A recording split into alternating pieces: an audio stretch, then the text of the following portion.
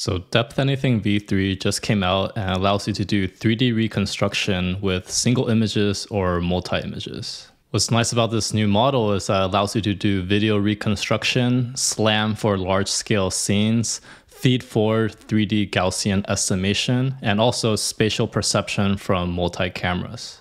If you're new here, my name is Kevin, and I've been doing robotics and AI for 10 plus years and have lots of resources on my channel. I also have a master's robotics and AI bundle, as well as a robotics project bundle. Go ahead and check it out at kevinwoodrobotics.com. So the key feature of Depth Anything v3 is that it uses a single transformer vanilla DINO architecture here. So it's a very simple model compared with a lot of the other complex, you know, SLAM and 3D reconstruction models. And it also has this ray component that comes out of the dual DPT head combined with the depth output and together you get a 3D point cloud. So this is really what stands out about this model. It's pretty small and lightweight and good for some real-time applications. So you can see here, this is some of the comparison of the teacher label supervision. So up here on the, on the top is the image, the middle is without the teacher, and the bottom is with the teacher. And what you notice is the level of detail in some of these areas, like the tree here, the bird. You can see the clear separation between the foreground and background. So these are some really nice results. You can also see right here, this is some more examples with and without the DA3 teacher.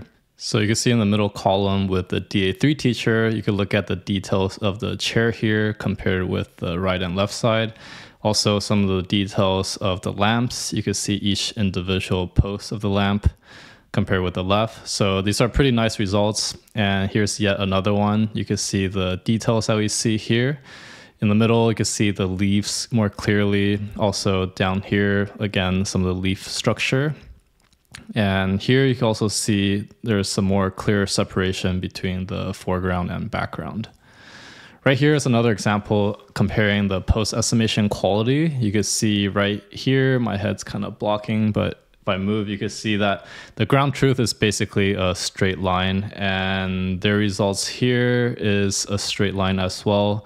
But if you compare with the VGGT and the Pi 3, you can see that the lines are kind of all over the place. Same thing with the top, the first two, the lines are kind of scrambled up and uh, their model and compare with the ground truth is a nice linear line. So these are the basically the pose path or the camera path that we're seeing, and you can see it does a pretty good job estimating the poses.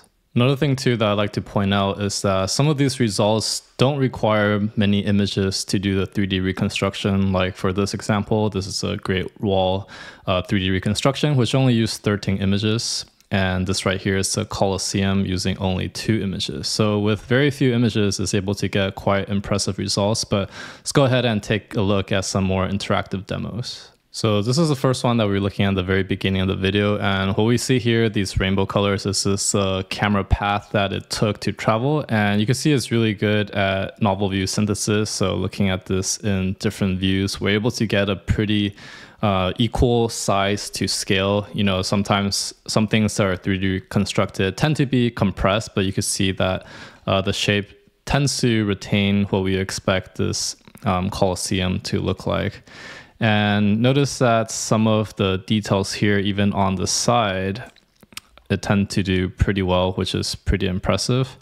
You can see the sizes of these uh, windows here is very consistent throughout. So that's one thing that I look for is the consistency and any sort of warping that happens at the ends, which this model doesn't tend to do too much.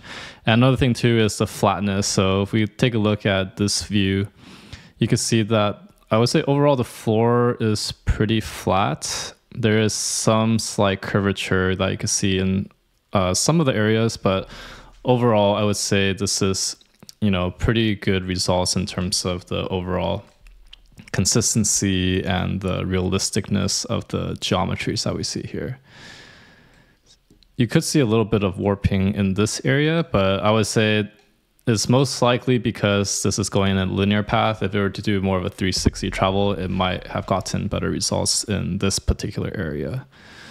So let's take a look at some indoor scenes. So this is a very basic example of a room you can see the colors. This is where the camera travels, so it kind of sweeps all over the room here.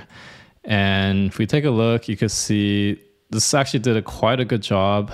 Again, I checked for the flatness of the floor since that's something previous models struggled with. It seems to make the room pretty rectangular. The results are pretty good here. And you can even see the monitors here. Everything seems to be very realistic. I don't see any main issues with this render here. Um, but of course, some of the you can see some of the parts of the chair is disappearing, and that's mostly due to the angle. I think most of the sweep of this camera, based on looking at this, is the square part is the, the direction it's looking at. But I think most of the view tends to be looking forward and not so much down. So with a little bit of more data, you could probably collect some of the chair part. But overall, you can see the shape and the walls, everything is perpendicular. So there's not too much distortion going on. The only thing is it's missing some parts due to lack of more views. Here's another example of a burger bar. What you want to notice is that this one only actually uses one image. So this is the blue here on the left. So with a single image, it was able to get a pretty nice 3D reconstruction of the entire scene. You can see that the burger has the 3D-ness to it. You can see how it's popping out. So just with one image, one image, this is very impressive. You could definitely tell that these things here are 3D. Now, if we check a little bit over here, I'm just going to drag it over. You can see that, oh yeah, you can see right here in the back, it could definitely pick up some of the height of these items here. So overall, this is a very good model. Um, it's interesting that it, they were able to, you know, connect the 3D aspect to it because previously the depth anything models was only focused on the depth map, but basically they integrated everything for some of the real use cases, how people may want to use it. So there's a lot more examples here. You could go ahead and look through them. Um, this, you're going to find it on their Depth Anything V3 gallery, so go ahead and check it out. They also have a GitHub repo. Just go ahead and Google Depth Anything V3 GitHub, and you should be able to find it. So go ahead and check it out. The code is very simple. You can see with a few lines of code, you're able to get this up and running.